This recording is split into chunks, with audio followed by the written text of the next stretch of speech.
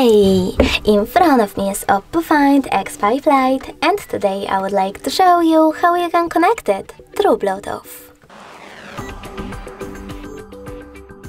First of all, go into settings. Now you need to click on Bluetooth over here and then select this switcher next to Bluetooth feature. Following that, wait for available devices to show up and when they do, click on the chosen one.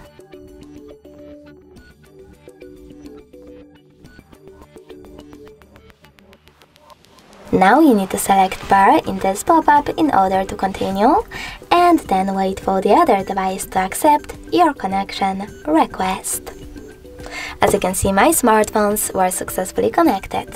If you wish to disconnect them, choose this icon next to the device, tap on unpair and now it's gone.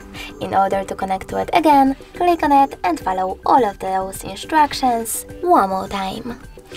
Thanks so much for watching. If you enjoyed this video, leave a like, comment and definitely subscribe.